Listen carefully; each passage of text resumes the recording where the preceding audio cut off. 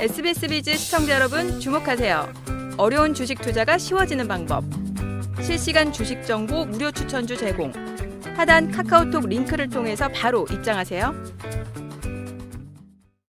주식 고수의 반열에 올라라 당신을 주식 고수로 만들어드리는 필살기 고수 외전 네, 필살기 고수회전의 두 고수님들을 소개합니다. 역발상 전략가 김현우 고수님과 육각형 고수 김정우 고수님이 함께합니다. 어서 오세요.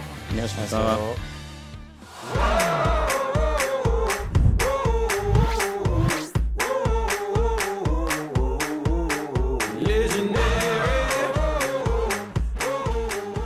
네, 국내 증시가 대외 변수로 인해서 변동성이 커질 것으로 보여지고 있습니다. 이런 장세 속에서도 봐야 할 섹터는 존재할 것 같은데요. 자, 김현우 고수님 요즘에 주목하고 있는 이슈가 있다고요. 네, 일단 체코 신규 원전 수주입니다. 네. 어, 한국과 프랑스가 15년 만에 원전 수주전을 펼치다가 24조 원 규모의 신규 원전 2기 건설 사업의 우선 협상 대상자로 한수원이 선정이 됐습니다. 어, 체코 정부가 이번에 추진하는 신규 원전 건설 사업은 프라에서 남쪽으로 220km 떨어진 두코바니와 그리고 130km 떨어진 테물린에 각각 2기씩 총 4기의 원전, 건, 원전을 건설하는 30조 원 규모의 대규모 어, 대형 프로젝트다라고 할 수 있겠는데요. 어, 체코 원전 수출에 이제 성공하게 되면서 어, 지난 2009년 아랍에미리트 바라카 원전 수출 소, 성공 이후에 15년 만에 성과이자 또 유럽 원전 수출 확대의 교두보 역할을 할 것이라고 보여지기 때문에 어, 추후에 이제 영국 폴란드, 네덜란드 등 유럽 국가들이 원전 앞으로도 다른 유럽 국가들로도 원전 수주 가능성도 높아질 수 있는 상황이기 때문에 오늘은 해외로 뻗어나갈 K 원전주를 가져와 봤습니다. 네, 그리고 김정훈 고수님께서는 이번에 특별한 전략을 준비하셨다고요. 네, 어, 이벤트 드리븐 전략이라 그래서 어, 주요 일정 이전에 예, 기대감이 반영되면서 어, 주가가 부각되는 세트가 있습니다. 예를 들면 7월에 어떤 이슈가 있었는지 혹시 아시나요? 어, 7월에 방금 김현호 고수님께서 말씀해주신 체코 원전 수주 이슈 아닌가요? 네, 체코 원전 어, 이슈로 인해서 원전 관련주들이 변동성을 보였는데 네. 어, 제가 하반기에 어, 주목해야 될 빅 이슈 3를 준비해봤습니다. 네, 김정훈 고수님의 하반기 빅 이슈 3와 김현우 고수님의 해외로 뻗어나갈 K 원전주까지 저희가 알차게 준비했으니까요. 끝까지 함께 해주시고요. 김현우, 김정훈 고수님과 함께하고 싶은 분들은 필살기 고수회전을 검색하신 후에 채널 추가해 주시기 바랍니다.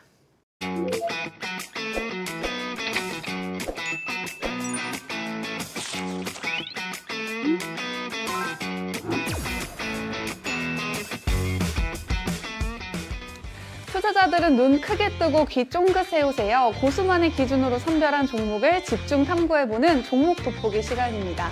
자, 고수들만 따라가면 수익 실현할 종목이 보인다. 먼저 김현우 고수님과 함께 볼 텐데요. 자, 고수님, 원전주가 시장에서 소외를 받다가 그야말로 지금 핫템이 됐습니다. 뭐 체코 원전 수주에 성공을 하면서 앞으로 K-테마로 진화할 수 있을지도 좀 궁금합니다. 네, 글로벌 원전 시장이 지속해서 확대되는 추세입니다. 그래서 이제 한국이 체코 수주에 성공하게 되면서 국내 원전주 역시도 좀 내수에서 벗어나서 네. 본격적으로 K 테마로 진화할 수 있다. 라고 생각이 되는데요.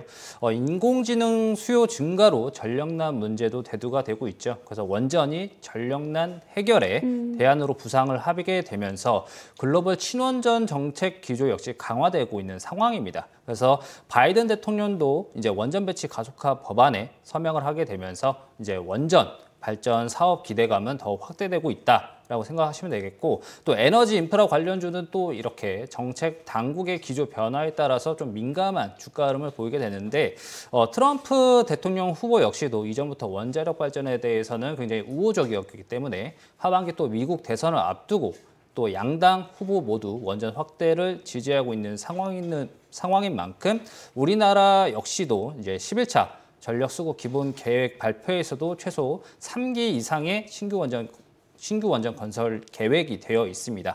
그렇기 때문에 이제 원전 섹터의 앞으로의 전망은 밝다라고 생각을 하시면 되겠습니다. 네, 이제 원전주를 장기적인 안목으로 좀 봐야 될 시점인 것 같은데요.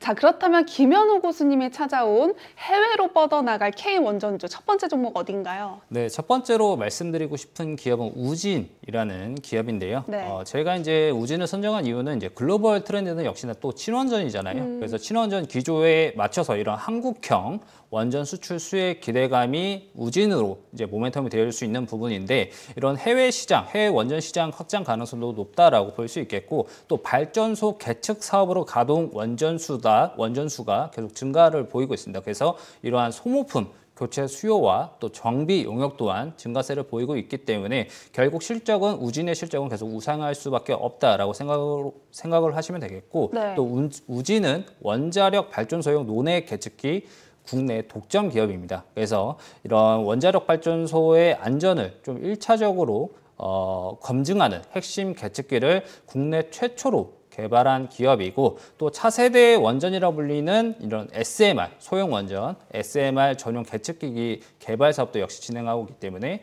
이런 모멘텀이 부각될 수 있다라고 보시면 되겠습니다. 네, 말씀하신 대로 차세대 원전으로 SMR이 주목을 받고 있고 SMR 시장이 점점 커지고 있습니다. 자, 그렇다면 우진이 SMR 전용 부품 개발 사업을 하고 있다고 말씀해 주셨는데 뭐 앞으로 좀 더 기대를 해봐도 되는 걸까요? 예를 들면 뭐 해외 수출이라든지 이런 것도 기대해봐도 되는 걸까요? 네, 일단 SMR 시장에 대해서 좀 먼저 설명을 드리고 넘어가자면 영국 원자력 연구소는 SMR 글로벌 시장이 최대 630조 원 규모까지 성장할 것으로 전망하고 있습니다. 그래서 이러한 성장 모멘텀은 지속될 수 있다라고 볼 수 있겠고 바라카 원자력 발전소 1, 2호기에 이제 핵심 부품을 공급한 이력이 또 우진한테 있기 때문에 앞으로 해외 원전 수주 확대에 따른 이런 수혜 기대감 그리고 원전 가동률 상승에 따라 개측기 교체 수기 교체 주기 또한 빨라질 수밖에 없기 때문에 이러한 실적 성장세가 추가 주가에 긍정적으로 반영될 수 있다라고 말씀드릴 수 있겠습니다. 네, 그리고 우진은 원전용 계측기 개발 전문 기업이기도 하지만 또 새로운 사업을 하고 있다고 들었습니다. 네, 이제 우진 같은 경우는 이제 방사능, 네. 방사능 폐기물 처리 기술도 보유한 기업이기 때문에 앞으로 이런 친환경 정책에 따른 이런 방사능 폐기물이 많이 나오게 되잖아요. 이런 방사능 폐기물 처리와 처리에 관련해서도 기술력이 좀 부각될 것으로 보여집니다. 네, 체코 원전 관련 호재에 또 더불어서 원전주 전반이 또 상승을 했다가 지금은 조정을 받고 있습니다. 우진의 주가는 또 어떨까요? 네, 일단 원전주는 제가 이전에 그 모멘텀 설명드린 대로 반도체만큼이나 이런 중장기적인 어, 우상향이 가능한 섹터다라고 말씀을 드릴 수 있겠는데요. 네. 어, 차트를 보면서 좀 설명을 드리자면은 어, 과거 우진 같은 경우에는 정부의 10차 전력 수급 기본 계획에 따라서 탈원전 정책이 폐기가 되면서 16,000원대까지 좀 상승한 어, 상승폭을 확대한 이력이 있었거든요. 어, 이런 추세가 보이다가 그 다음에 이제 매물 출회와 함께 조정이 긴 시간 이어졌고 또 현재는 대략 8,000원과 11,000원 사이에서 긴 박스권 흐름이 계속 이어지고 있는 상황이다라고 볼 수 있겠습니다. 어, 이제 최근 들어서 이제 글로벌 친원전 정책 기조와 해외 원전 수출 기대 그리고 SMR 모멘텀이 부각이 되면서 최근에 11,000원 선을 돌파하는 이런 흐름도 나와주기도 했는데요. 어, 앞 보시다시피 계속해서 저점을 높여가고 있는 상황이기 때문에 매력적인 가격 어, 진입 가격대는 대략 8,500원 선부터 8,000원 선 이 구간이 좀 매력적인 진입 가격대다라고 보시면 되겠고 네. 또 돌파 관점에서 봤을 때에는 9,000원 선을 돌파하는 어, 돌파 여부를 지켜보시면서 목표가는 1차적으로 박스권 상단선이 11,000원 선까지 상승 흐름을 기대해 볼 수 있겠고 2차로는 12,000원 돌파 여부와 함께 어, 앞으로의 이런 원전 수주 관련 이슈를 살피면서 목표가를 높여갈 수 있겠습니다. 네, 점점 투심이 뜨거워지고 있는 원전주인데요. 자, 해외로 뻗어나갈 K 원전주 두 번째 종목도 알아보도록 하겠습니다. 어디인가요? 네, 두 번째로 말씀드리고 싶은 종목은 어, 이제 수산 인더스트리라는 기업입니다. 네. 네, 수산 인더스트리는 정부의 민간 발전 설비 정비 업체 육성 정책에 따라서 기존의 건설 공사에서 발전 정비 사업으로 전환한 기업으로 에너지 발전 설비 정비 사업을 좀 주요 사업으로 영위하고 있는 기업이다라고 말씀드릴 수 있겠습니다. 네, 에너지 발전 설비 정비 사업을 하고 있다고 하셨는데 그 중에서도 원자력을 좀 집중적으로 하고 있는 걸까요? 네, 원자력, 화력 이런 발전 설비 정비업을 주목적으로 하는 사- 기업인데 네. 원전 쪽 매출 비중이 60%를 차지를 하고 있고요. 어, 민간 업체 중에서는 최고 수준의 원자력 발전 설비 정비 기술을 갖추고 있는 기업으로 타 민간 업체에 대비해서 좀 높은 기술력을 요구하는 이런 정비 수주를 지속해서 받는 기업입니다. 네. 그래서 이러한 추세를 고려한다면 향후 시장 점유율 확대와 함께 어, 향후 많은 수주를 받을 것으로 좀 기대되는 상황이다라고 보여지는데 어, 하반기에 이제 세울 3호기, 그 향후 4호기에 상업 운전이 예정이 되어 있고 원전 가동률 상승에 따른 이런 정비 시장 성장세가 동사의 실적으로 반영될 것으로 이제 보여지는 상황입니다. 네, 성장성이 좀 돋보이는 그런 기업인 것 같은데 자회사에도 호재가 있다고 들었습니다. 아, 예, 맞습니다. 이제 동사의 자회사 이제 수산 네. EANS가 예, 산업통상자원부 그리고 과, 과기정통부와 함께 이런 공동으로 추진하는 이런 혁신형 어, 소율 모듈 원자로 그러니까 SMR 기술, 개- 기술 개발 사업에 있어 이제 참여 업체로 선정이 됐었거든요. 네. 그래서 이런 이런 점과 또 작년에 바라카 원전 어, 개확 계획 예방 정비 수주 이력도 있었기 때문에 앞으로 이런 해외 수주 기대감 또한 주가에 긍정적 모멘텀으로 작용할 수 있다라고 보시면 되겠습니다.